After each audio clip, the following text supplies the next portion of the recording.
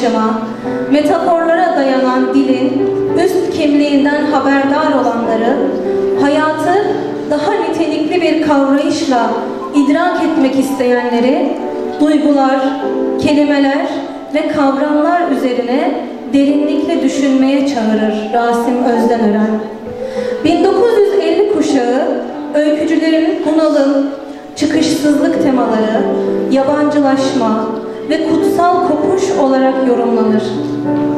Denemeci, öykü yazarı ve mütefekkir Rasim Özdenören 6 Mayıs 1940 tarihinde Maraş'ta İstanbullu bir baba ve Maraşlı bir ailenin çocuğu olarak dünyaya gelir. Özdenören için veda etmek, baba bayındırlık baş fen memuru Hakkı Bey'in ardı ardına Malatya'ya, Tunceli'ye tayini, emekliliğinden sonra da yine Maraş'a dönüşüyle başlar. Belki de yaşanan bu anlar gelecek kuşakları etkileyecek öyküleri ile onlara ruhen yüceldiklerini hissettirecek bir öykücünün doğmasına vesile olur. Türkiye tarihinde eşi görülmemiş bir edebiyat birlikteliğinin ilk adımları atılır yine o dönemde Maraş'ta. Bu simaların birlikteliği aynı yola baş koymuşlukları önce İstanbul'da sonra Ankara'da bir sanat, edebiyat ve düşünce eylemine Türkiye'nin ruh köklerine inen bir ana akıma zemin oluşturmuştur. Sezai Karakoç'la diriliş, Nuri Pakdil ile edebiyat dergilerinde yazıları yayınlanır Özdenören'in. Ankara sokaklarında tüm olup bitenlere rağmen Yedi Güzel Adam 1976 yılında Mavera dergisinin ilk sayısını çıkarır. İlmin İstanbullu yüzüne bir çalım, bir diklenmedir Mavera. İstanbul Üniversitesi Gazetecilik Enstitüsü ve Hukuk Fakültesini bitirir Özdenören. Devlet Planlama Teşkilatı'nda uzman yardımcısı olarak göreve başlar. 2005 yılında genel sekreter ünvanı ile emekliye ayrılır. Çok Sesli Bir Ölüm ve Çözülme adlı hikayeleri televizyon filmi yapılır. Çok Sesli Bir Ölüm, Uluslararası Prag Televizyon Filmleri Yarışması'nda jüri özel ödülünü almaya hak kazanır. 2008 yılında TDK Kültür ve Turizm Bakanlığı Rütü'nün iştiraki ile düzenlenen Karaman Türk Dil Ödülü'ne layık görülür Özdemören. Kahramanmaraş Sütçü İmam Üniversitesi tarafından 2011'de ve Sakarya Üniversitesi tarafından 2015'te Fahri Doktora ünvanı verilen ve bugüne dek onlarca hikayeye imza atan usta yazar hakkında hazırlanan çok sayıda tez, özel sayı ve kitap bulunur. Bünyesine uygun bir yeniliş fikrine sahipken, kendisine tepeden ve resmen dayatılan değişimin özümseyememiş Müslüman bir toplumun çıkmazlarını, arayışlarını ve yenilişlerini konu edinir Rasim Özdemir büyük bir tevazuyla yazmak istediklerini henüz yazamadığını söyler. Gerçekten yazdığını düşündüğünde, yazdığına inandığında yazmayı, yazmayı bırakacağını ifade eden Özden Ören. Türk öykücülüğünün ve deneme yazarlığının gelmiş geçmiş en usta kalemlerinden biri olarak kabul ediliyor. Türkiye ruhunu çok iyi bilen, gerçek bir yazarın kaleminden çıkma, yeni okumalara açık, anlamı tüketilmez yazılarıyla çağımızın hikayeciliğini derinden etkiliyor. Şimdi geleceğimizde yüz ve şahsiyet arasında derin bir bağ bulunmasının yanında edebiyatta da yüz önemli bir imgedir. Suçluları ayna karşısında yalnız bırakmayan vicdanın sesi olarak tezahür eden, herkesten kaçırsa da ondan kaçılamayan bir sorguçtur yüz.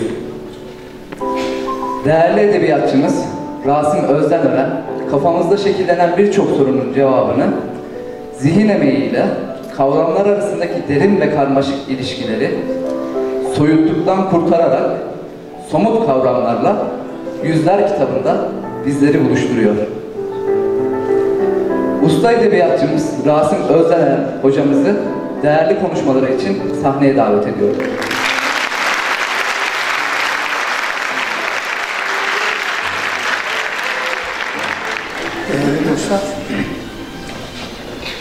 Hepinizi sözlerime başlamadan önce sevgiyle, saygıyla selamlıyorum.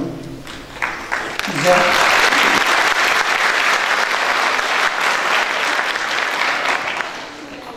bize bu fırsatı vermiş olan belediyemizin değerli mensuplarına, kıymetli başkanımıza, onun e, değerli ekibine teşekkürlerimi, şükranlarımı sunuyorum. Öyle zannediyorum ki bu sadece belediyenin e, katkısıyla, belediyenin çalışmasıyla vuku bulmuş bir toplantı değil. Buna emeği geçen yardımcı kuruluşlarımızın, sivil toplum kuruluşlarımızın e, ve onların bütün ekiplerinin e, emeklerine saygıyla selamlarımı gönderiyorum.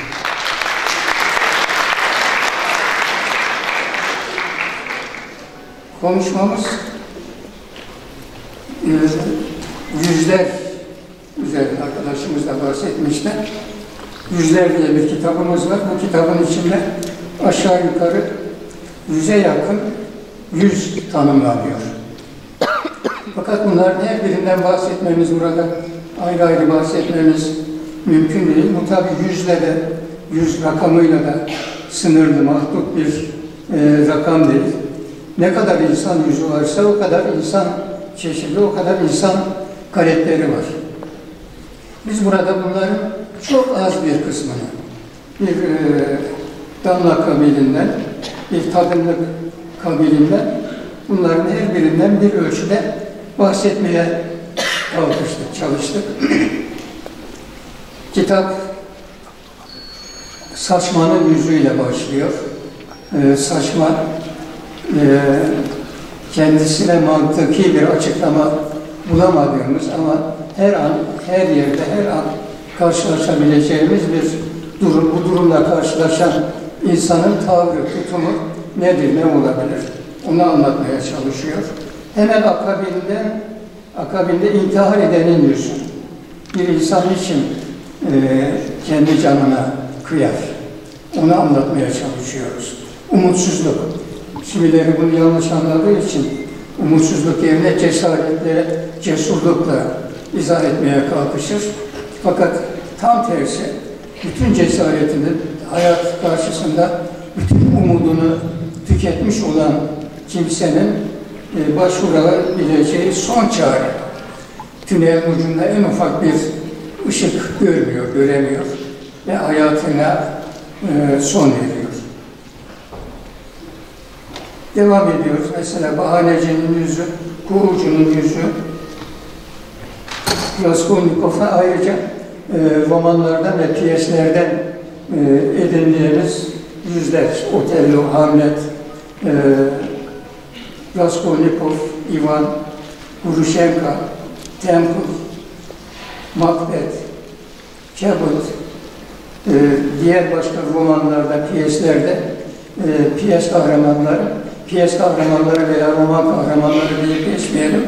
Bunların e, gerçek hayatta birebir karşılıkları olan e, tipler.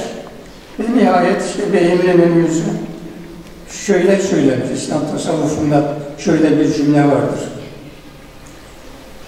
E, ne kadar hayvan e, sureti varsa o suretlerin her biri bir insanda tecelli eder kedi yüzü olan, köpek yüzü olan, yılan yüzü olan, tilki yüzü olan, ayı yüzü olan, e, aklınıza gelen bütün hayvanları sayabilirsiniz. Köpek yüzü olan, eşek yüzü olan, e, ne kadar hayvan varsa, kuş varsa, bunların her birinin insanda bir, belli bir tecellisi var. Şimdi biz bunların tamamını böyle tek tek anlatmaktansa öyle zannediyorum ki çoğumuzun eline geçmiştir bu kitap, yüzler kitabı. Oradan zaten okuyacaksınız e, veya okuma imkanı, fırsatı var. E, ben o kitaptaki yüzleri sizlere anlatmaktansa o yüzlere şekil veren e, insani münasebetlerimiz nedir, neler olabilir? Onları e, şemalaştırmaya gayret edeceğim. Hangi e, hangi insani yüzler, hangi insani e, ilişki biçimleri var ki bizi diyelim ki tilki gibi veya bizi diyelim ki bir roman kahramanı olan Dostoyevski'nin suç ve ceza kahramanı olan Raskolnikov. Hangi insani e, ilişki biçimiyle biz karşı karşıya geliyoruz da yerine göre Raskolnikov oluyoruz, yerine göre folklorun bir e, kahramanı olan Temple haline gelebiliyoruz, Ivan haline gelebiliyoruz, Hamlet haline gelebiliyoruz. Ben bu ilişki biçimlerinin e, üzerinde durmak istiyorum. İnsan, insan akıl e, sahibi bir mahluk. Akıl sahibi bir yaratık. Akıl, Cenab-ı Allah'ın e, kainata teklif edip de, emanet olarak teklif edip de bunu kabul eden biricik mahluk insan olmuştur. Biz diyor Cenab-ı Allah e, emaneti dağlara, taşlara e, e, sunduk. Fakat dağlar, taşlar bunu kabul etmedi. Ama insan e, cahil ve acul, aceleci ve cahil ve acul olduğu için artı zalim, zalim olduğu için e, emaneti diyor kabul etti. Emanetin ne olduğu hususunda dünya edebiyatında envai çeşit e, tanımlar var, envai çeşit e, açıklama şekilleri var. Ama bizim kanaatimiz o ki e, emanet eşittir akıl. İnsan e, aklı kabul ediyor. Akıl nedir? Akıl bir düşünme melekesi. Düşünme melekesinin fonksiyonu nedir? Düşünme melekesinin fonksiyonu iradedir. İrade tek başına bir işe yaramaz.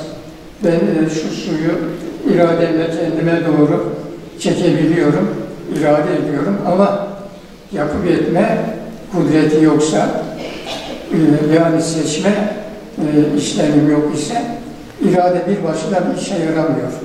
Bizim aynı zamanda iradenin fonksiyonu nedir? Seçmedir.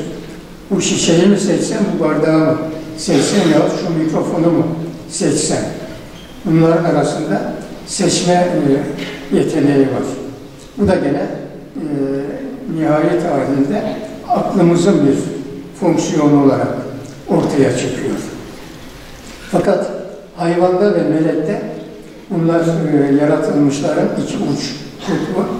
Hayvanda ve melekte akıl olmadığı için irade de yoktur. İrade olmadığı için seçme yetenekleri yoktur. Seçme yetenekleri olmadığı için eyleme yetenekleri, edim yetenekleri yani amel yetenekleri yoktur. Amel, onlar ne yapıyorlar ise zorunlu olarak yapıyor. Her ne yapıyorlar ise gene zorunlu olarak yapıyorlar. Efendimizin e, miraca çıkıp e, döndüğünde mesela melekler hakkında verdiği bir bilgi var. O bilgide şunu ifade eder. Ben e, öyle meleklerle karşılaştım ki gerek miraca çıkarken gerek dönerken onlar sürekli kıyam halindeydi. Öyle melekler vardı ki onlar sürekli rükû halindeydi. Öyle melekler vardı ki onlar sürekli secde halindeydi. O meleğe verilmiş emir, bir kısmına verilmiş olan emir sadece e, kıyamda durması, ayakta e, dikili durması, bir kısmı rükû halinde e, eğilmiş vaziyette, bir kısmı da secde halinde. Onlar başlangıçtan e, helak edilinceye kadar o pozisyonda kalmaya meyildir. Ama insanın böyle bir e, sürekli aynı pozisyonda kalmaya tahammülü yok. İnsan bir miktar kıyamda kalır, bir miktar rükuda kalır, bir miktar secdede kalır. Ve neticede bir süre sonra o halden çıktıktan sonra da başka eylemlere sürekli bir eylemden bir başka eyleme geçer. Ama her ne yapıyor ise e, onu kendi hür ve müstakil iradesiyle gerçekleştirir. Hür ve müstakil iradesiyle gerçekleştirdiği için Yani aklı başındaysa kendisine verilen akıl temiz kudretini hariç olarak e, bu seçmesini, dolayısıyla bu edimini, bu amelini e, kendi seçmesi neticesinde yapıyor ise o yapıp etmelerinden de mesul tutulur. Halbuki melek ve e, hayvan taifesi böyle bir mesuliyetleri yoktur. Çünkü onlar her ne yapıyor ise zorunlu olarak yapıyordur. Bahçemize, bostanımıza saldığımız bir e, keçi yavrusu diyelim, bir inek yavrusu diyelim ya ineğin kendisi. O sadece otlamasını bilir. Ama bir insan yavrusu 5 yaşında bile olsa biz o insan yavrusuna bak bu taşlar birer sınırdır. Bu taşlardan öbür tarafa geçersen komşunun bahçesine, komşunun bostanına geçmiş olacaksın. Dolayısıyla oraya geçmek e, sa- e, senin için doğru değil. Sana orayı yasaklıyoruz dediğimiz zaman çocuk bunu anlar. İhlal ederse de bu yasağı ihlal ederse de bilerek ihlal eder. Komşunun sınırına geçtiğini bilir. Dalgınlıkla geçer. O ayrı bir keyfiyet. Ama kendisine söylenen talimatları anlar ve bilir. Çocuk ihlal ettiğini de eğer o yasağı, e, yasağı çiğnemişse, onu çiğnemekte olduğunu e, büyüklerinin karşısında sorumlu tutulacağını da gayet iyi bilir. Ama bir ineğe e, hiçbir şekilde arkadaşım bu iki taşın arası senin sınırındır. E, buradan öteye geçersen komşunun e, bağına, bahçesine, bostanına geçmiş olacaksın. E, dolayısıyla geçme diye tembih, istediğin kadar tembih et. O hayvancık otlaya otlaya komşunun tarlasına da geçer. Hiç kimse de o hayvanı sorumlu tutmaz. Kimi sorumlu tutar? Sahip hidayet kim ise onu sorumlu tutar. Çünkü sorumlu olan nasıl ki kendi çocuklarımız üzerinde sorumluluk onun annesine, babasına, velisine, vasisine ait ise hayvanların bakımı, efendim onların verdikleri zarar da sahiplerine raci olur. Şimdi insanla hayvan, insanla melek arasında böyle dramatik, radikal bir farklılık var. Merak etmek insana mahsus bir olay. Biz merak ederiz. Bu bardağın arkasında ne var? Bu duvarın arkasında ne var? Bu gökyüzünün arkasında ne var? Öldükten sonra nasıl bir hayat var veya böyle bir hayat var? Bunlar hayvan için, melek için sorun, sorun değildir. Bunlar insan için sorundur. İnsan dolayısıyla merak eder, merak ettiği şeylerin cevabını bulmak ister.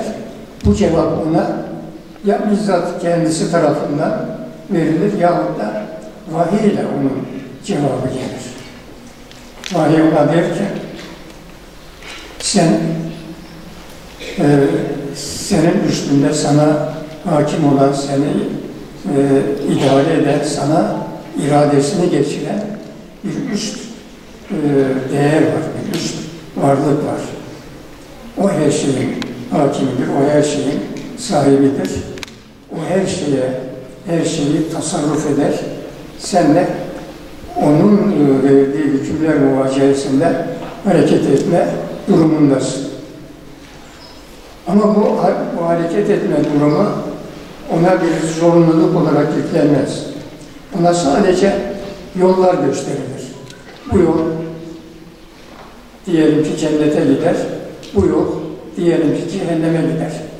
Onların hangi yolun nereye gideceğini, hangi işi yaparsa cennetin yolunu tutturacağını, hangi işi yaparsa cehennemin yolunu tutturacağını, eğer e, bu kavramlara imana itikadı yok ise hukuk açısından e, konuştuğumuzda hangi yolunu suça götüreceğini, hangi yolunu masumiyete götüreceğini e, götüreceği belirlenmiştir.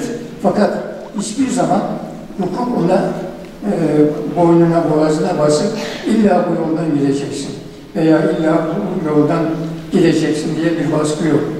Bu sadece yollar belirlenmiştir. Hukuk, hukukta da bir e, mecburiyet yok. Ceza hukuku kimseye şunu söylemiyor. Hırsızlık yapma demiyor. Cinayet işleme demiyor. Ya ne diyor? Adam öldürürsen, haksız yere adam öldürürsen bunun cezası şu kadar e, hapis yapmaktır. Hırsızlık yaparsan bunun cezası şudur kabilinden ona e, müeyyideleri sadece sunuluyor ama o müeyyideler var diye o kişi illa da e, sağlıklı bir yolda sağlıklı bir yolda e, yürüsün e, mecburiyeti tutulmuyor.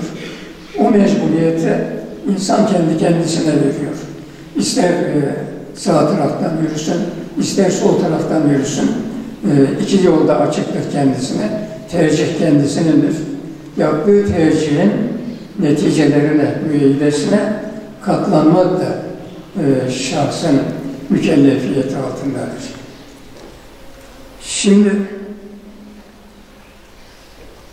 bunu böylece kısaca belirttikten sonra bizim insani ilişkilerimizin e, ilişkilerimiz açısından e, acaba ne türden e, insani ilişkilerle karşı karşıya bulunuyoruz, karşı karşıya e, kalıyoruz?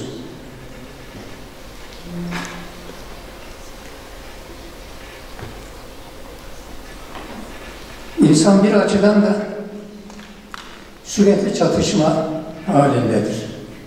Gerek kendisiyle, bizzat kendi nefsiyle, bu suyu içsem mi içmesem mi, bu suyumu içsem, bu gözlüğümü gözüme taksam, yahut buradan çekip gitsem mi, sürekli bir alternatifler ve sürekli bir imkanlar dünyası içinde yaşar. Hayvan ve melek için imkanlar dünyası yoktur. Hayvan ve melek için zorunluluklar dünyası vardır. Her ne yapıyor ise, otluyorsa zorunlu olarak, uyuyorsa zorunlu olarak, her ne yapıyor ise bunu zorunlu olarak yapar. İnsandan başka hiçbir mahluk karnı doyduktan sonra tekrar e, yemek yemez. Eğer hayvanımız varsa evimizde kedimiz, köpeğimiz, ineğimiz, eşeğimiz neyse hangi hayvan olursa olur, olsun. Onun şayet karnı doymuşsa, karnı doyduktan sonra ne kadar zorlarsan zorla. Bir e, at arpayı ne kadar çok severse sevsin, karnı doyduktan sonra ona bir tek avuç arpayı bir daha yediremez. Ne zamana kadar? Bir daha karnı acıkıncaya kadar o, o elhamdülillah demiş ve sofrasını kaldırmıştır. Ama insanoğlu öyle değil. İnsanoğlu hepimiz, Türk adet olarak hepimiz biliriz. E, komşularımız misafirliğe geldiğinde misafirlerimize ikramda bulunuruz. O istediği kadar ben karnım tok efendimiz şimdi sofradan kalktık buraya geldik. Ne kadar derse desin siz onu mutlaka işte bir çayla, kahveyle ya sofranız açıksa e, sofranıza davet etmek suretiyle sofrada onu yemeğe zorlamak suretiyle bir şeyler mutlaka yedirirsiniz. O da yemek zorunda kalır. Hatır içinde olsa yiyebilir ama bunu hiçbir hayvana yaptıramazsınız.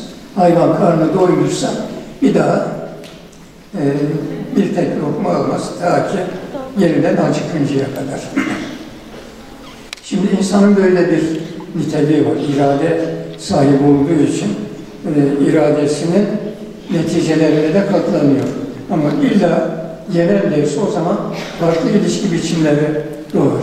Bizim soframıza tenezzül etmedi diye düşünebilir ev sahibi. Yahut işte benim yemeğimi beğenmedi diyebilir. Yani onu e, muhatabın, e, ziyaretçinin e, karnının tok olduğuna neredeyse inanmak istemeyiz. Neredeyse bir daha yeniden yemesini isteriz. Şimdi bu kişinin e, kendi nefsiyle, bizzat kendisiyle olan e, mücadelesi bağlamında işte bunu yapsam mı yapmasam mı, yesem mi yemesem mi?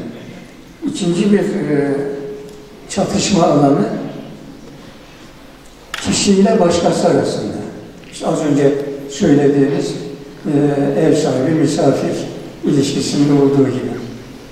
Kişinin isteği bir türlüdür, başkasının isteği başka bir türlüdür. Buradan bir çatışma doğar.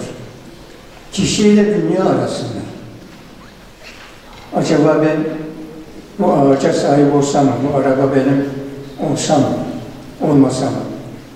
Bu metağı elimden çıkarsam mı, çıkarmasam mı? Dünyanın benden talep ettikleri var, benim dünyadan e, taleplerim var. Dolayısıyla benim imkanlarımla e, içinde yaşadığım dünyanın, dünya derken illa e, bu yer küresini düşünmeyelim. Çevremizde bir dünya, bu, bu salonda bir dünya, bu kendi çevremle benim isteğim arasındaki talepler örtüşüyor mu, örtüşmüyor mu? Örtüşmesinden de, örtüşmemesinden de farklı çatışma e, alanları ortaya, farklı çatışma biçimleri ortaya çıkmış olabilir. Kişiyle kötülük arasında, başka bir deyişle kişiyle şeytan arasında bir e, çatışma biçimi olur. Şeytan seni farklı bir yöne götürmek ister. Şeytanla nefs arasında da şöyle bir farklılık var. E, nefs bir olay üzerinde ısrar eder. Bunu illa yapacaksın. Bu suya illa uzanacaksın. Sürekli aynı e, konu üzerinde ısrar eder. Şeytan ise e, konudan konuya atlar. Hiçbir ısrarı yoktur. Bu yabancının e, eşyasıdır. Senin bu, bu eşya, eşya yok, bunu alıp götürebilirsin. Onu alıp götürmediğin takdirde, ona itiraz et, ettiğin takdirde şeytan ısrar etmez. İlla bu nesneyi al götür demez.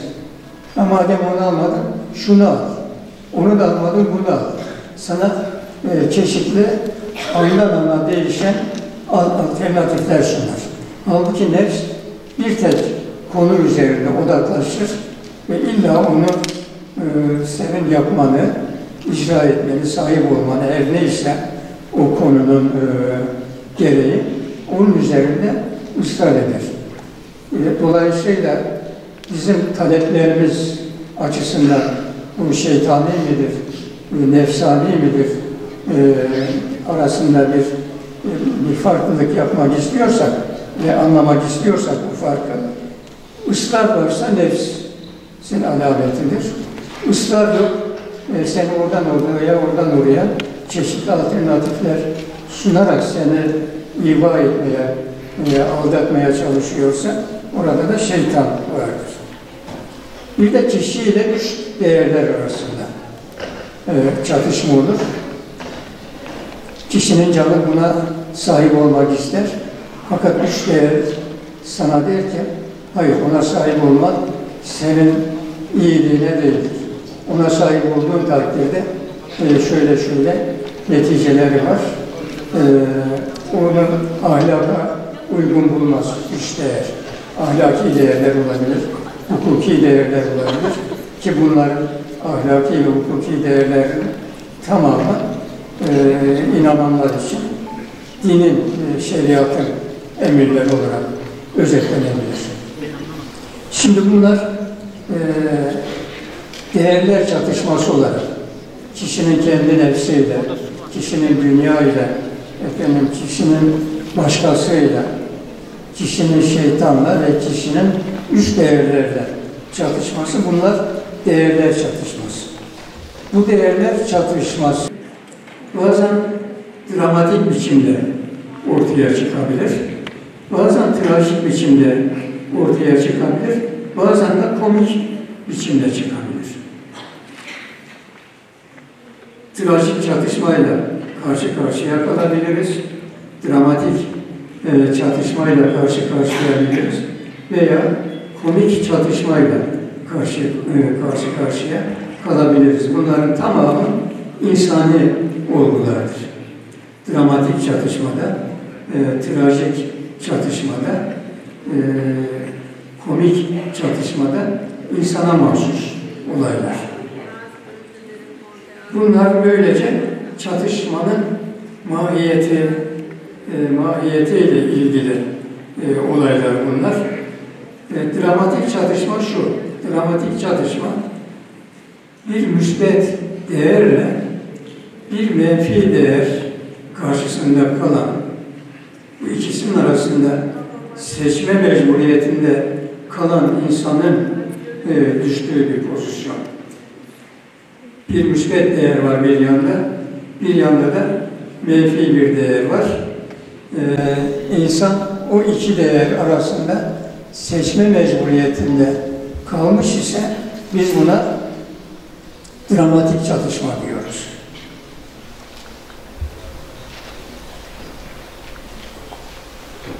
Buna bir açıdan hak ve batıl çatışması da diyebiliriz. Rahmani ve şeytani çatışma da diyebiliriz.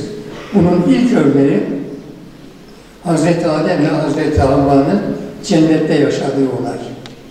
Onlara e, bir emir gelmiş. Emir şu, bu ağaca yaklaşmayın. O ağacın mahiyetini biz bilmiyoruz. Hani elma ağacı diyen var, e, bilgi ağacı diyen var. Elma çeşit şeyler söyleniyor ama İslami açıdan o ağaç yaklaşılmaması gereken, ona el uzatılmaması gereken bir ağaç. Yani bir başka deyimle söylediğimizde haram olan bir nesne. Şimdi bu e, hayvanlar için ve melekler için böyle bir haram söz konusu değil. Onlara böyle bir emir verilmiş değil. Meleğin de hayvanın da yaklaşmaması gereken hiçbir ağaç yok. Yani hiçbir haram yok e, hayvan içinde, melek içinde. Onlara her şey serbest. Her şey serbest ama onlar her ne yapıyor ise aynı zamanda zorunluluk icabı yapıyor. İkisinin arasında bir çelişme var mı? Hayır, hiçbir çelişme yok. Hayvan başıboş bırakıldığı zaman kendisine ne emredilmiş ise o emrin dışına çıkma ihtimali onun zaten fıtratına aykırı olan bir olay. Halbuki insan, insana yasakları çiğnemek fıtratına tam da uygun olan bir şey. Yasak var, yasak konuluyor. Fakat bu sınanmak içindir, insanın sınanması içindir. O ağaca dokunacak mı, yaklaşacak mı, yaklaşmayacak mı? İnsan yaklaşıyor ona, merak ediyor çünkü. İnsanın diğer bir e, özelliği merak etmez. Sözümüzün başında da söyledik. Acaba bunun arkasında ne var? Allah bana buna yaklaşma dedi ama yaklaşırsam ne olacak? Şeytan insanın bu zaafını bildiği için ona diyor ki bak bu ağaca yaklaştığın takdirde ebediyen cennette kalacaksın. İlkin Adem'e geliyor. Adem diyor ki ben e, yaklaşmam ona çünkü Cenab-ı Allah beni o ağaca yaklaşmaktan men etti. Tam olan e, mefhumunun sembolü bu ağaç. Nitekim e, cennet hayatında e, sadece bir olan yaklaşılmayacak e, ya, e, ya, yaklaşılmayacak ağaç bir iken o bu, dünyaya geldiğinde envai çeşit haramlarla karşılaştı. Birbirinizi öldürmeyeceksiniz. Birbirinizin canına, malına kastetmeyeceksiniz. Malına kastetmek nedir? Hırsızlık yapmayacaksınız. Yani bugün e, bize şeriatın yasak koyduğu her ne var ise onların tamamı haram. Fakat haramın da şöyle bir özelliği var.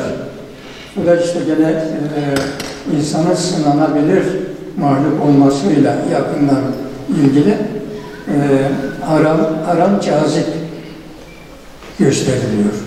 Yani şeriat sana her neyi emretmiş ise o insana cazip görünüyor. Ya komşunun tavuğu komşuya kaz görünür meselesi buradan ortaya çıkıyor. Komşunun tavuğu daima caziptir.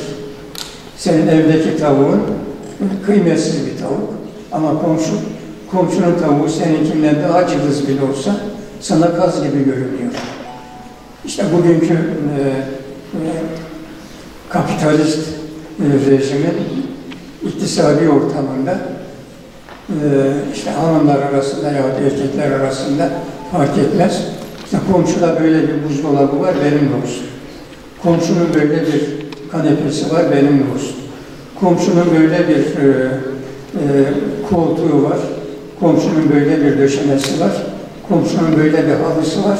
Her şey komşuya ayarlanmış olarak e, ortaya çıkıyor. Yani komşunun tavuğunu komşuya kaz görünmesinin sebeplerinden birisi bu. Bir de dedim merak demiştik. Merak ediyor. Şeytan diyor ki Adem'e bu ağaca yaklaş. Çok merak etmesine rağmen diyor ki Allah beni o ağaca yaklaşmaktan men etti. Şeytan ısrar etmiyor. E, Havva'ya dönüyor. Havva'ya söylüyor. Bu ağaca yaklaşırsan işte ebediyen e, cennette kalacaksınız.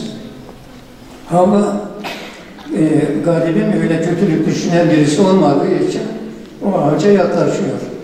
E, o ağaca yaklaşmak nasıl bir şey biz bugün bilemiyoruz.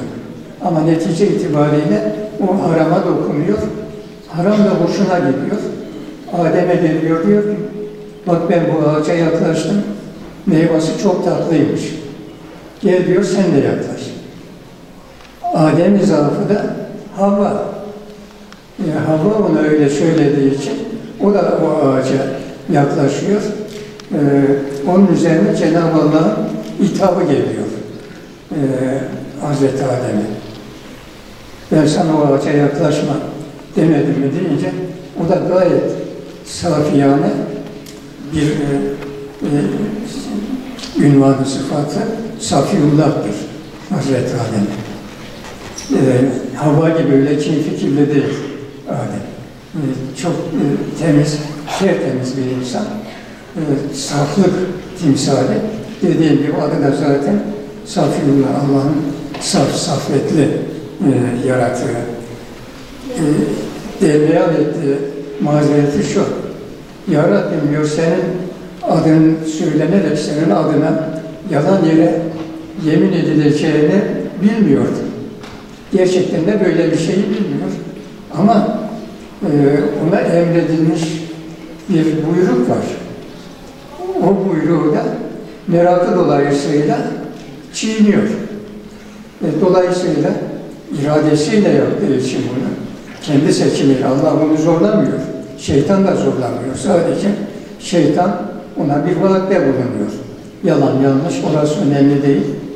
E, ona sadece bir vaatte bulunuyor bu ağaca yaklaşma vaadi var. Neticede ağaca yaklaştığı için dolayısıyla e, emri ihlal ettiği için çık cennetinden buyruğuyla karşılaşıyor ve bu dünyaya geliyorlar. Çoluk çocuk sahibi e, öte dünyada, cennet hayatında e, çocukları yok. Bu dünyada e, çoluk çocuk sahibi oluyorlar. E, işte bildiğimiz e, Habil ile Kabil bu dünyada meydana geliyor. Havva anamızın bir özelliği çocukları hep çift çift, ikiz ikiz dünyaya gelirmiş. İkizler de bir kız bir oğlan şeklinde dünyaya gelirmiş. Ya aynı batından doğan çocuklar birbirine haram. Farklı batınlarda doğanların e, evlenmesi mübah birbiriyle. E, Habil ile Kabil arasındaki e, münakaşada evlenme yüzünden. İkisi de aynı kıza talip olurlar. Kabil buna razı olmaz. Habil'i öldürür. Neyse bunlar da ayrı bir olay. Burada özetle e, bağlayacak olursak burada işte bir dramatik çatışma var. Hazreti Adem'in e, günah ile sevap arasında, yasak ile e, yasak ile serbest olan arasında, bir başka deyimle hak ile batıl arasında bir seçme mecburiyetiyle karşı karşıya kalınca e, batılı tercih ediyor. Batılı tercih etmesinin müeyyidesi de cennetten kovulması oluyor. Bunun bir, bir başka adı da e, dramatik çatışmanın etik çatışma yani ahlaki çatışma. Bunun bir örneğinde Asr-ı Saadet'te e, sahabilerimizden e, Kağıt bin Malik'in durumu. Kağıt bin Malik Efendimizin son e, seferlerinden birisi olan Tebük Savaşı. Tebük gazasına hali vaktiyle çok iyi olmasına rağmen gazaya katılmıyor. Gaza dönüşünde o olay çok enteresandır bu. Tebük Savaşı'yla ilgili teferruatı bir yerlerden bulup okuyun. Çok çok e, enteresan bir olay. Ben burada anlatıp vaktinizi almayayım. E, çünkü konumuz o savaşın e, teferruatı değil. Ama o savaş Peygamber Efendimiz'in Mekke'den, Mekke'nin fethinden önceki en son savaşı ve o savaş dönüşünde şimdi diyor büyük e, şimdi küçük cihattan büyük cihada doğru geliyoruz. Büyük cihat nedir ya Resulullah dediklerinde büyük cihat kendi nefsimizle olan mücadelemizdir diyor. Şimdi Kağıtlar çok sevdiği sahabelerden birisi Efendimizin zaman zaman soruyor kağıt nerelerde e, diye sorduğunda kağıdı sevmeyenler hepimiz gibi sevenlerimiz var, sevmeyenlerimiz var. Sahabeler de neticede insanlar, onların da seveni, sevmeyeni var. E, sevmeyenler efendim o işte savaştan kaçtı e, diye ihbarda bulunuyorlar. E, sevenleri ise efendim o e, hali vakti çok iyiydi, yerindeydi ama mutlaka bir mazereti vardır. O yüzden katılmamıştır. Diyorlar neticede Efendimiz Medine'ye döndükten sonra savaşa katılmayanlar kimler diye soruyor. İki grup insan katılmamış. Bir Müslüman olup da fırsat bulamayanlar, üç dört kişi bunlar, aralarında Kâb bin Malik de olmak üzere, bir aciz olanlar, yaşından dolayı, mazeretinden, hastalık, sakatlık gibi mazeretinden dolayı katılmayanlar var. Fakat asıl büyük şeyi, büyük e, e, kütleyi münafıklar teşkil ediyor. Kâb genç bir adam. Aynı zamanda şair. Dili, e, dili kullanmasını çok iyi biliyor. E, münafıklar gelip her biri bir yalan uyduraraktan e, peygamberden af diliyorlar. Peygamber de işin iç yüzünü Allah bilir. Ben sizi Allah'a havale ediyorum demek suretiyle onları serbest bırakıyorlar. Kağıt da suçunu e, itiraf etmek üzere huzura çıkacağında ona diyorlar ki bak kağıt işte filancalar filancalar mazeretlerini söylediler. Resulullah onları affetti. Sen de diyor bir yalan söyle veya bir mazeret e, dermeyan et. Resulullah seni de affetsin. Şimdi dramatik çatışmayı anlatıyoruz. Yani e, dramatik çatışmanın örneği olarak e, Kâb bin Malik'i veriyorum. Bu anlattığım olay e, Diyanet İşleri Başkanlığı'nın Riyazu Salihin diye çıkardığı muhtasar bir hadis kitabı. Ben o hadis kitabından aktarıyorum bunu dilimin döndüğü kadarıyla.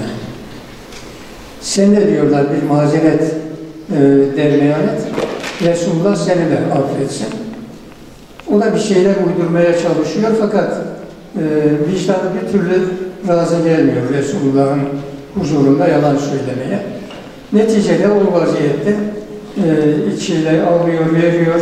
Acaba söylesem de affettim sen mi diye. Neticede huzura çıktığında e, şu beyanda bulunuyor. Ya Resulullah diyor, sen de biliyorsun ki ben şair. Bir mazeret söylemek suretiyle belki senin gönlünü de yaparım. Belki senin affına da e, mazhar olabilirim, olurum. Fakat ben sana diyor doğrusunu söyleyeceğim.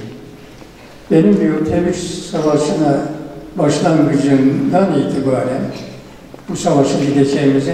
Efendimiz bu savaşı da söylemiş. Başka hiçbir savaşta şuraya buraya gideceğiz diye bir beyanı yoktur. Bir tek bu savaşta Bizans'ın bir meydan okuması var Müslümanlara. 200 bin kişilik orduyla meydan okuyor.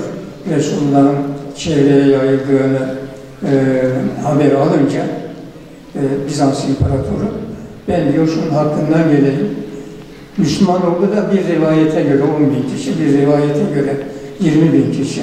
Tebük bir vadi, susuz, e, çöl, e, karanlık, e, kasvetli bir şey, kasvetli bir e, vadi. Ramazan içinde ayrıca bu sefer Ramazan içinde oluyor. Günlerce, haftalarca süren bir yolculuktan sonra mesela bir suya rastlıyorlar. Resulullah diyor ki o su lanetlidir ona dokunmayın. Hepsinin açlıktan, susuzluktan dili dışarıya çıkmış. Fakat o suya dokunmuyorlar. Biraz sonra başıboş bir deve görülüyor. O deveyi e, yemek için e, boğazlamak, kurban etmek istiyorlar. O deveye diyor dokunmayın. O deve lanetli bir devedir. Hazreti Salih Aleyhisselam'la bir irtibatı varmış o, o devenin bir biçimde. Velhasıl e, savaş yerine gittiklerinde Bizans ordusunu görmüyorlar orada. Bizans ordusu korkup kaçıyor. Şundan dolayı korkuyor. İslam ordusu o tarihe kadar hiçbir savaşta mağlup çıkmamış. Hendek'le e, tepe neydi o? Uhud e, gazası e, dahil hiçbir savaşta Uhud e, biraz şüpheli gibi görünüyor ama netice itibariyle orada da mağlubiyet söz konusu değil. Hiçbir savaşta mağlup olmamış ve az bir orduyla e, kendisinin risliyle çok olan orduları perişan etmiş. Kendisinin üzerinde 200 bin kişilik ordunun üzerinde 20 bin veya 10 bin kişiyle yürüdüğünü görünce İslam ordusu karşısında tutunamayacağı kanaatine varıyorlar ve geri dönüp memleketlerine çekiliyor Bizans ordusu. Orada üç gün bekledikten sonra işte geriye dönüşü var. O dönüşte de tekrar kaldığımız yerden devam edelim. Seni diyor e, Kâb bin Malik Resulullah'a e, mazeretlerimle ikna edebilirim. Fakat ben doğrusunu e, söyleyip e, Cenab-ı Allah'ın yardımını diliyorum diyor ve işte hiçbir mazeretim yok yoktur. Hiçbir mazeretim yokken hatta e, durumum her zamankinden çok daha iyi olmasına rağmen ihmalim yüzünden bu sefere katılamadım. Sefere çıkıldığını öğrendiğimde arkamızdan koştum ama yetişemedim. Ondan sonra da izinizi kaybettim. İşte bu doğru söyledi diyor Resulullah. O zaman diyor sana evet, e, Allah'tan gelecek takdiri bekle. Allah'tan takdir geliyor. Hiç kimse Kâb bin Malik'le konuşmayacak. Ee, herkes e, elin eteğini çekiyor Kâb bin Malik'ten. Ben diyor çarşıya çıkarım selam veririm. Selamımı almazlar. Bir gün amcazadesinin bahçesinin e, duvar bahçesinin önünden geçiyormuş. E, amcaoğlu diyor selam veriyor. Amcaoğlu diyor e, benim adeti ruhiyemi biliyorsun. Resulullah'ı ne kadar çok sevdiğimi biliyorsun. E, dolayısıyla sen bana acı. Sen selamını ver diyor. Amcazadesi sırtını dönüyor ve Allah ve Resulü bilir diyor, konuşmuyor. Çarşıya çıktığında gene herkes e, yani alacağını vereceğini alıp veriyor ama kimse onunla konuşmuyor. Yüz çeviriyorlar her, herhangi bir talepte, herhangi bir beyanda bulunduğu takdirde. Böylece günler akıp geçiyor. Bu arada bir e, bir komşu şeyden, vilayetten bir e, bir reis, oranın aşiret reislerinden birisi bir mektup gönderiyor. Diyor ki senin memleketinde senin kıymetinin bilinmediğini haber aldık. Sen bize gelirsen biz sana iyilikte ve lütufta bulunuruz diye bir mektup geliyor. Mektubu getiren şahıs Kağıt bin Malik kimmiş diye çarşıda sorunca herkes parmağıyla Malik'i işaret ediyor. Okuma yazması var Malik'in. Mektubu okuyor, bu taleple karşı karşıya geldiğini görünce bu da diyor e, Allah'ın bir imtihanı, bu da diyor başıma bir bela. Mektubu yırtıyor ve ayaklarının altına alıp çiğniyor. Burada da çok enteresan bir e, bugün içinde çok enteresan dersler var. Yani kendi e, ülkemizde mahkum edilmiş olsak bile bu mahkumiyetten dolayı düşmanla işbirliği yapmamız gerekmez. E, buna ve buna benzer çeşitli şeyler, e, çeşitli dersler var. Bu Kâb bin Malik'in macerasında. Bir ara gene uzatıyorum belki laf ama e, iyice anlamamız lazım olayı. Bir ara e, kendisiyle beraber, Kâb bin Malik'le beraber birkaç tane de yaşlı sahabiler de aynı e, aynı cezaya maruz kalmışlar. Eşlerinizden ayrı yaşayacaksınız. Emri geliyor. O yaşlı adamlardan birinin hanımı diyor ki, efendim benim işte kocam e, benim yardımım olmadığı takdirde abdestini alamaz, namazını kılamaz, üstünü başını temizleyemez. Müsaade ederseniz ben onun bu hizmetlerine hiç olmazsa koşayım e, talebinde bulunuyor. Ona bu müsaade olursa veriliyor. Bunu Kâb'a gelip söylüyorlar. Kâb diyorlar bak e, izin istediğin takdirde hanımının sana yardım etmesine müsaade ediliyor. Kâb tabi olağanüstü akıllı bir adam. Dediğimiz gibi şair. Diyor ki o adama mahsus. O sahabeye mahsus. Ben diyor gencim benim. Elim ayağım tutuyor. Benim diyor yüzüm tutmaz. Efendim hanımım bana yardım, yardımcı olsun demeye benim diyor yüzüm tutmaz. Ben diyor bunun cezasına katlanırım. Netice itibariyle 50 gün bu cezası sürüyor. 50. gün damda namaz kılarken tek başına namaz kılarken arada bir cemaati de katılıyor. Hatta Resulullah'ın en, e, hemen arkasında bulunuyor ve sürekli de Resulullah'ı seyrediyor namaz esnasında da. Fakat Resulullah onun kendisini gördüğünü, e, kendisini izlediğini veya gözlediğini fark edince gözünü ondan çeviriyor. Böyle olaylar da yaşanmış.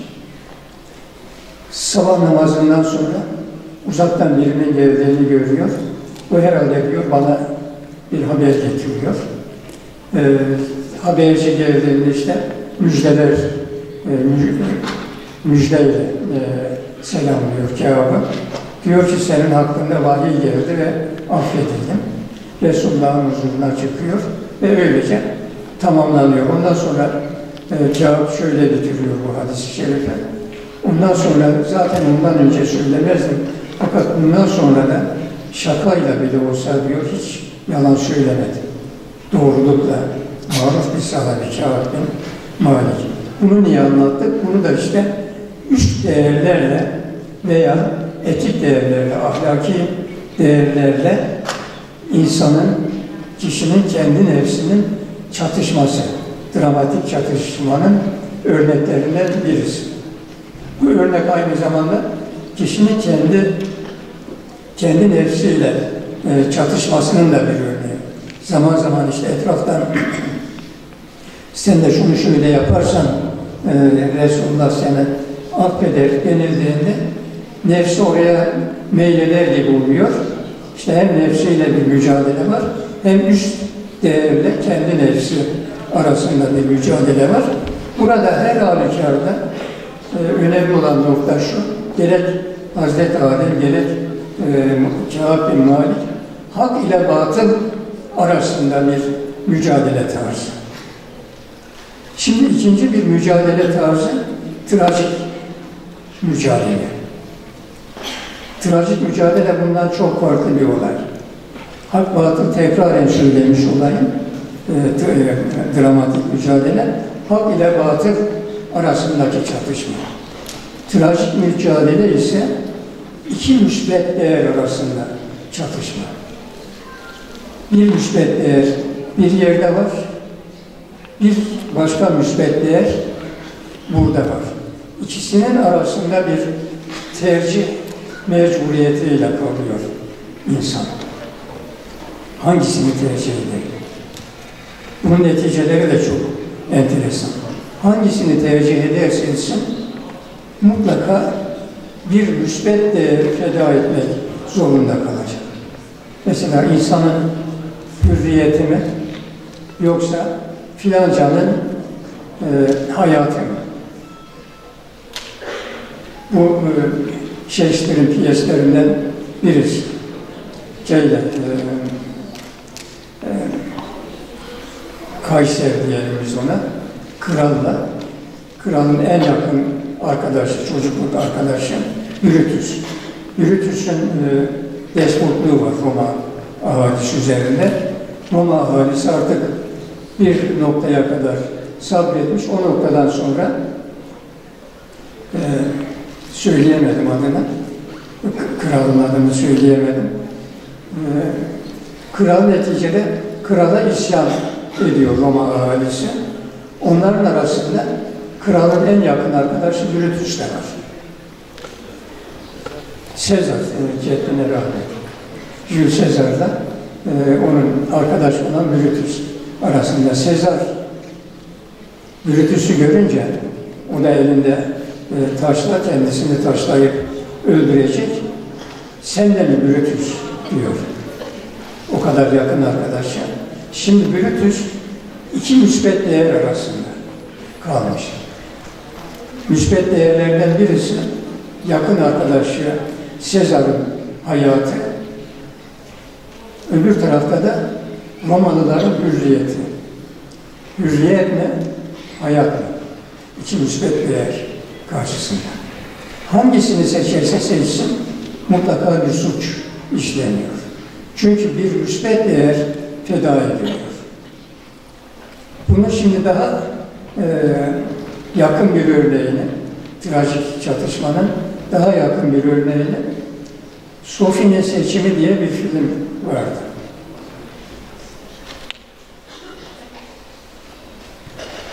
Sophie, iki oğlan çocuğunun annesi.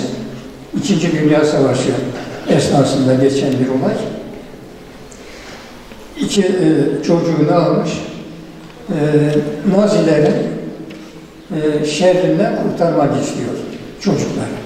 Fakat yolda e, Gestapo şefiyle karşı karşıya kalırlar. Gestapo şefi e, çocukları al- alıp kampa götürecek. Kampa götürmek demek öldürecekler çocuklar orada. Sophie e, Gestapo şefine ricada bulunuyor, yalvarıyor, yakarıyor. Hiç olmazsa diyor çocuklardan birini bana bırak. Şef de diyor ki madem öyle sana bir iyiliğim olsun. Hangisini seçeceksen seç.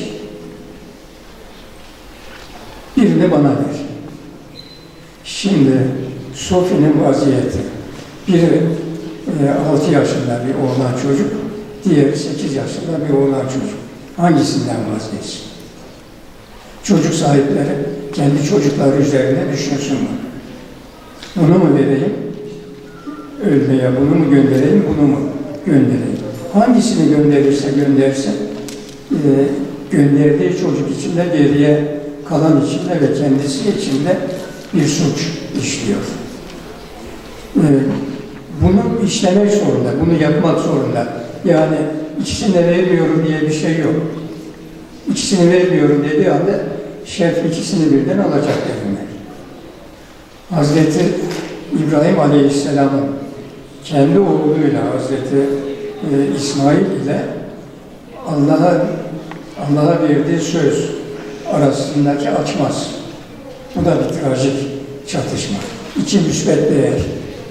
Bir yanda Allah'ın buyruğu var. Allah'ı çok seviyor Hazreti İbrahim. Zaten ona yalvarmış, yakarmış. Bana bir e, oğlan çocuğu lütfet demiş. Kendisi o sıralarda e, eldeki belgelere göre 100 yaşlarına yakın veya 100 yaşında hanımı Hacer Hatun da 80 yaşlarında. Neticede kendisine bir oğlan çocuğu, muti, itaatkar, e, munis bir oğlan çocuğu verileceğini müjdesi geliyor. O da karısına bu müjdeyi veriyor. Hacer e, annemize bu müjdeyi veriyor. Diyor ki biz çocuk sahibi olacağız. Hacer anne de, Hacer anne ne biliyorsunuz? E, Afrikalı, zenci, köle. Onun için e, Sami, şeyini, Sami ailesinin diğer e, kolu olan Yahudiler e, biz e, İshak'ın çocuklarıyız. E, bir prensesin çocuklarıyız. Siz kölenin çocuklarısınız diye küçük görürler. Halbuki kölelik, e, efendim, efendilik bunlar İslam'ın e, jargonunda olan terimler değil. Geçici terimler olarak kullanılır bunlar. İslam jargonunda. Velhasıl müjdeyi verdiğinde Hacer Validemiz de diyor ki İbrahim ya İbrahim, ya Resulullah e, ben 80 yaşındayım. Bu yaştan sonra mı diyor anne olacak. Şimdi böyle bir pozisyonda bunlara bir evlat bağışlanıyor. Bu evlat da geldiği takdirde sözü var. Hazreti İbrahim'in onu diyor sana kurban edeceğim. Kurban tabi bebek yaşta olmuyor. Kurban, bugünkü kurbanlarımızı bilelim, toplu olacak hayvan. Yani bir yaşına gelmiş olacak. İnsanın ömrüne kıyas ettiğimizde insanın da işte akıl balik olduğu 12, 13, 15 yaşlarına geldiği dönemler olacak. İsmail o yaşlara gelmiş, kurban edilecek. Hazreti kendisine defalarca hatırlatılıyor. Rüya görüyor, işte sen kurban edeceksin, o onun imtihanı. Ama beşeri açıdan baktığımızda onu peygamber diye düşünmeyelim, e, bir baba olarak düşünelim. E, böyle bir babanın bir yanda evlat sevgisi, müsbet bir değer, bir yanda Cenab-ı Allah'ın buyruğu var. İki buyruktan birisini, hangisini reddederse etsin, e, bir suç işlemiş olacak. Çünkü iki müsbet değerden birini reddetmiş oluyor. İsmail'i kayırsa Cenab-ı Allah'ın hatırını kırmış olacak. Cenab-ı Allah'ın hatırını güttüğü takdirde oğlunu kurban etmiş olacak. Bu olaya şimdi bu açıdan bakmayıp da trajik fenomen açısından bakmayıp da e, layık açıdan, ateist açıdan baktığımızda Hz. İbrahim ahlaksız, gaddar, oğlunu e, kesmeye ahd etmiş, cehd etmiş. Böyle bir, e, bir cellat babayla karşı karşıya bulunduğumuz e, fikri doğar. Ama Hz. İbrahim'in içinde bulunduğu pozisyon itibariyle baktığımızda o öyle görmüyor. Bir tarafta Allah'a verdiği söz var, bir tarafta da gene Cenab-ı Allah'ın kendisine lütfetmiş olduğu evlat sevgisi var. Bu iki müsbet değerde birinden birine karar verecek. İşte trajik fenomen o karar esnasındaki hali kan dökülmüş, dökülmemiş önemli değil. Hazreti İbrahim e, oğlunu kurban etmek üzere eline bıçağı aldığında o karar esnasında zaten o trajik pozisyonun içine düşmüş demektir. Trajik pozisyonda dediğim gibi mutlaka bir müsbet değer feda edilmiş olur. Dramatik pozisyondan farkı da bu. Dramatik pozisyonda bir müsbet değerle bir menfi değer arasında bir çatışma var. Bunu çalsam mı çalmasam mı? Çalmadığı takdirde müsbet bir değer, çaldığı takdirde menfi bir değerden yana çık. Öldürsem mi, öldürmesem mi? Yalan söylesem mi, söylemesem mi? Yani iki, e, iki değerden biri müsbet, diğeri menfi. Halbuki trajik çatışmada mutlaka iki müsbet değer var. Ee, mutlaka birinden birini seçme zorunluluğu var. Ama hangisini seçersen seç, önemli değil. Hangisini seçersen seç, e, geriye bir e, bir müsbet değerin feda edilmesi söz konusu. İşte Sofi'nin hangi çocuğunu seçecekse seçsin. Diğeri için, e, giden için feda ettiği çocuk için bir, e, bir değer feda edilmiş oluyor ve mutlaka bir suç işlenmiş oluyor. Suç var fakat suçlu yok. Trajik çatışmada. Böyle bir enteresan durum var. O yüzden o nedenle de ahlaki açıdan e, sorumlu tutulamaz. Trajik çatışma ile karşı karşıya kalmış olan birisi. Mesela Sofi'yi biz e, niye o onu seçtin de bunu seçmedin? Bunun cevabı yok. Onu seçse aynı, aynı soru ila nihaye tekrarlanıp devam eder. E, dolayısıyla e, nedir oradaki seçim? Mutlaka bir müsbet değer feda ediliyor ama mutlaka bir müsbet değerde kurtarılıyor. Ama her halükarda bir suç işleniyor. E, trajik fenomenin özelliği suç var fakat suçlu yok. Hz. Ali ile Hz. Muaviye arasındaki olay da böyle trajik bir fenomenle biz orada karşı karşıyayız. Bunu yazan Hz. Ali ile ilgili bir kitap olan e, merhum üstadımız Necip Fazıl Kısakürek olayı anlattıktan sonra Hz. Ali ile Hz. Muaviye arasındaki olayı anlattıktan sonra neticeyi şöyle bağlar. Hz. Ali haklıydı, Hz. Muaviye de haksız değildi. Halbuki biz diyoruz ki burada trajik bir fenomen var. İki haklı taraf var. Hazreti Ali halife olmuş.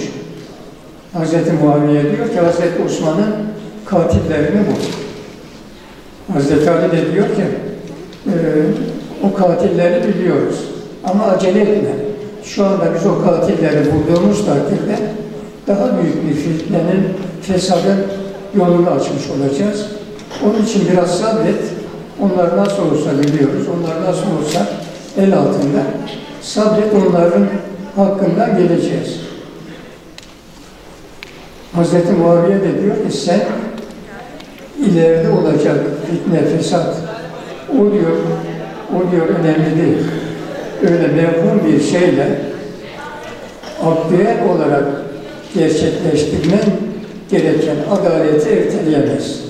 Sen şu anda halifesin, sen bu olaya karar verip neticesinde yerine getirmek zorundasın. Ne oldu? Şimdi iki müsbet değer var ortada. Adaletin ertelenmesinde bir hayır var. Hazreti Ali Efendimiz'in tezi. Öteki de diyor ki ileride olacak e, olaylar olaylar senin sorumluluk alanında değil. Sen hala hazırda bu adaleti yerine getirmek durumundasın. Şimdi olaya böyle baktığımız takdirde, trajik fenomen açısından baktığımız takdirde bu olayın çözümünü de bulmuş oluruz. Yoksa hali hazırdaki e, münazara yöntemiyle olaya baktığımızda bu olayı ebed müddet kıyamete kadar çözümsüz olarak bırak, e, bırakmak zorunda kalırız. Yani birisi haklıydı, birisi haksızdır dediğin takdirde bunun çözümü yok.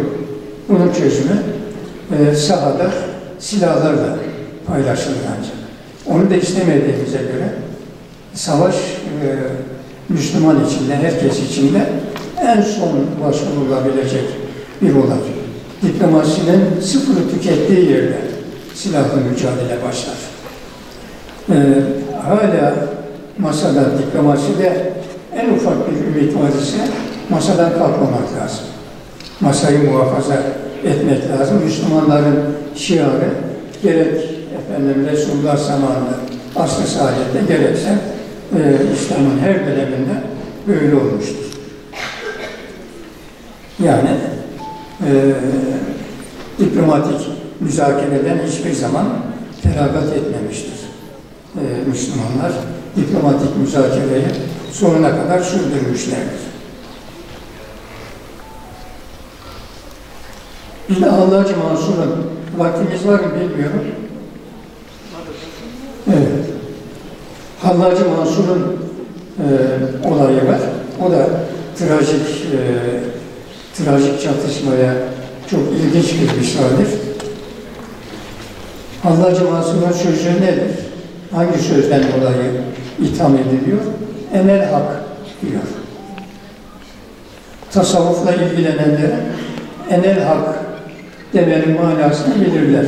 Hak benle tecelli etmiş e, manasına gelir. Yani e, onu itham edenlerin mülahazasıyla e, Allah'cı Mansur kendisinin Tanrı olduğunu e, ilan ediyor değil. Ama şer'an, e, şeriat zahire bakar. Zahirde ne söylenmiş? Zahirde enel hak. Ben hak. Ben hak, hak bende tecelli ediyor dememiş. Ben hak e, iddiası var. Mahkemeye veriliyor. E, Mansur, mahkeme heyeti de Mansur'u tanıyan birisi.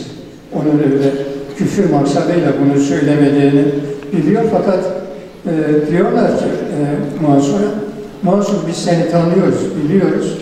Sen tövbe ettim de de seni bağışlayalım.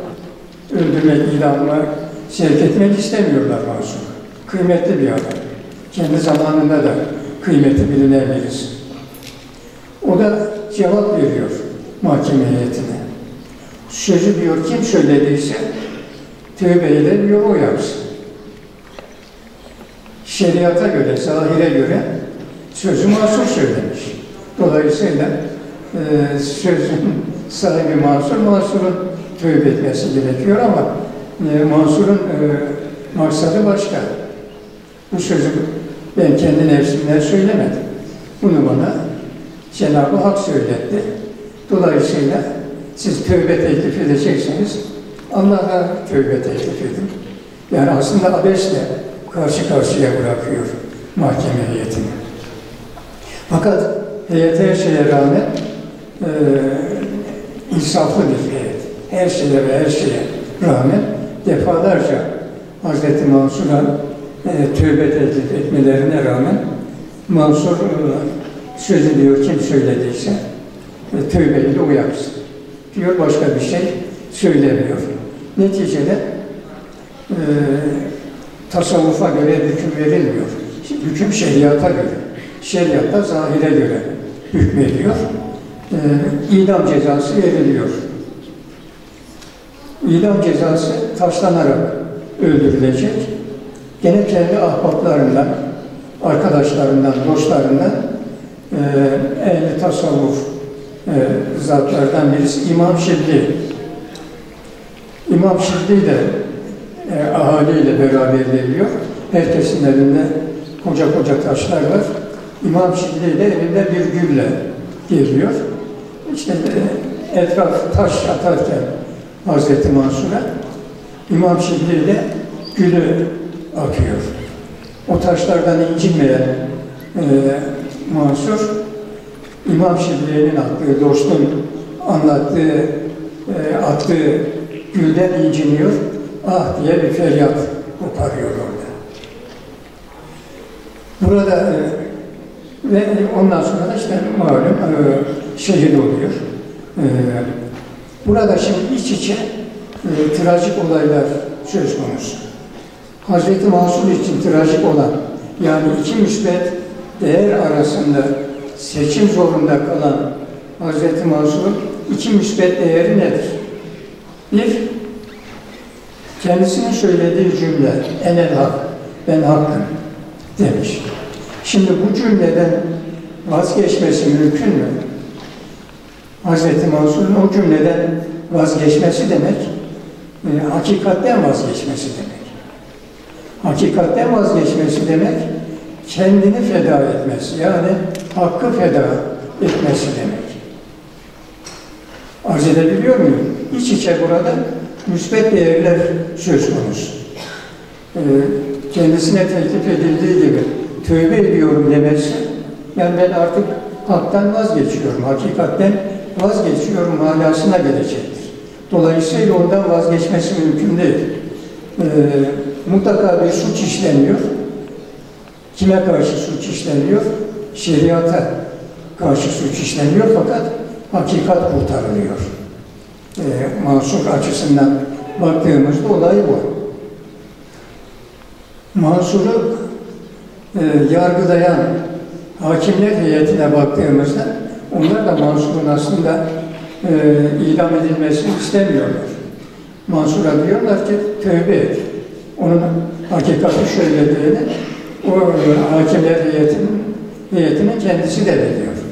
E, onun suç olmadığını, hakikat indinde, tasavvuf indinde o cümlenin bir suç olmadığını biliyorlar fakat yargılamayı tasavvufla yapmıyorlar. Yargılamayı şeriat yapıyor. Onlar da e, iki müsbet değer arasında. Hakikat şeriat mı? Şeriat da bir üstten değer, bir üst değer, bir müsbet değer. Birinden birini feda edecekler. Hakimler heyeti mahsuru affetse de bir müsbet değeri affetmiş oluyor. Ee, idama gönderse de bir e, karşı müsbet değeri feda etmiş oluyor. Onlar da öyle. Gelelim İmam Şibli'ye yani e, Hazreti Mansur'a gül atan e, dostuna, arkadaşına. Onun pozisyonu da aynen Sezar karşısındaki Brutus gibi. Herkesin taş atması umurunda değil Hazreti Mansur. Ama İmam Şibli gibi kendisine dostluk etmiş, kendisiyle aynı halkada bulunmuş, aynı halkada zikretmiş e, birisinin ona gül atması, o gül gül değil ki o gül ona taş olarak atılıyor. Ama İmam Şibli ne yapsın? İmam Şibli e, diğer ahali gibi eline taş alıp e, Mansur'u taşlayacak değil. O aslında bir selam gönderiyor. Ama o selamı neyle gönderiyor? Nadan'ın taşıyla beraber gönderiyor. Onun için o da trajik pozisyonda. İmam Şibli ile trajik pozisyonda. Şimdi bu olayı niye anlattık? Bu olayı veya Hazreti Ali'ye ait e, Hazreti Muaviye'ye e, ait menkıbeyi. Şimdi birileri diyor ki sen Müslümansan senin için trajedi, trajik olan. Trajediyle trajik olan birbirinden farklı. Trajedi bir e, edebiyat türü. E, trajedi, dram. Bunlar bir edebiyat türü. Ama dramatik pozisyon veya trajik pozisyon bunlar ise kavramın adı. Ee, birileri diyor ki e, şayet Müslümansa trajedi olmaz. Senin için trajik olan yoktur. Allah var. Trajik olan yok. Bunu yazdılar, çizdiler. Ama trajik olan Allah'ın problemi değil karşı. Kulun problemi. Kul var, yani insan var, trajik olan var. Sınanan Allah değil. Allah'ı sınamaya kalkıştığında e, o sınavda kul daima sınavı kaybederek e, o sınavdan e, çıkar.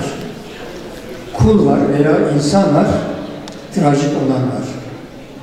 İki müsbet değerle karşı karşıya kalan Allah değil. İki müsbet değerle veya bir müsbet değerle bir menfi değer arasında kalan kimse kul insandır. Şimdi böylece komik e, ilişkiye geldik. Onu çok kısa e, keseyim. Komik pozisyonu. komik pozisyonda da gene bir insani ilişki biçimi var. İnsanın beklentisiyle olan olay arasında bir çatışma var. O iki çatışma ile karşı karşıya geldiğimizde güleriz. Ne gibi? Yani insan insan e, biyolojik bir varlık. İnsan ahenkli bir varlık. Yürürken e, ayağını hep aynı e, aynı biçimde atar ve hep aynı mesafede atar. Normal yürüyüşümüz budur. Merdivenler hep eşit aralıklarla yapılır. Eğer o aralıklardan herhangi birinde e, uzun veya kısa e, bir basamak patlaması olursa orada tökezleriz biz. Tökezlediğimiz anda normalde beklenti nedir? Tökezlememek. Yolda yürürken tökezlemememiz lazım. Fakat bir erişkin insan e, tökezlediği anda ona bakanlar gülerler. Niye? Çünkü insan orada nesneleşmiştir. Mekanik hale gelmiştir. Normalde tökezlemez insan, erişkin bir insan, dengesi yerinde olan birisi normalde tökezlemez. Ama tökezlediği anda hepimiz güleriz. Mesela buzun üzerinde, karın üzerinde e, kayıp, sırt üstü veya yüzü koyup düşen birini gördüğümüzde aslında gülünecek bir olayla karşı karşıya değiliz orada. Yardım pozisyonunda olmamıza rağmen gayri ihtiyari güleriz ve güldükten sonra da yardıma, yardımı öyle koşarız. Ama mesela bir bebek, yeni yürümeye başlamış olan bir bebek. Onu zaten biz e, düşmesini bekleriz ve düşmemesi için de bebeği iki yandan e, kollarız. Aman düşüp de kendisine bir zarar getirmesin diye. E, bebekte düşmesi beklenen bir şeydir. Düştüğü takdirde bebeğin düşmesine gülmesi beklenen bir şey. Ama erişkin bir adamın düşmesini beklemediğimiz için ona, ona gülme e, refleksiyle, refleksiyle cevap veririz. Böylece neyi söylemiş oluyoruz? Beklentimizle e, olması gerekenle olmaması gereken arasında bir e, çatışmayla karşı karşıya kaldığımızda güleriz. Beklenmedik olaylar, kişilerin birbirine karıştırılması, kendi hanımı diye bir başkasına yönelmesi, e, komedi filmlerinde öyle manzaralarda karşı karşıya geliriz. Yememesi gerekirken e, kendisine uzaktan bir yiyeceği yemesi. Bunlar bizde hep gülme duygusunu uyandırır. Bu Bergson'un tezi. E, filozof Bergson'un e, tezi. Bir de Freud'un gülme açıklaması var. Psikolojik açıdan. O da şunu söylüyor. Bilinç altında baskıladığımız, e, dışarıya söylediğimiz takdirde ayıplanacağımızı düşündüğümüz şeyler bir biçimde kendi tarafımızdan veya başkası tarafından dile getirildiğinde e, bilinçaltımızdaki o fikir e, açığa çıkar ve biz rahatlarız. Bu rahatlığın verdiği e, alet ruhiye ile de güleriz diyor. Gülmeyi de böylece anlatmış olalım. E, üç ilişki biçimi, demek dramatik ilişki biçimimiz var.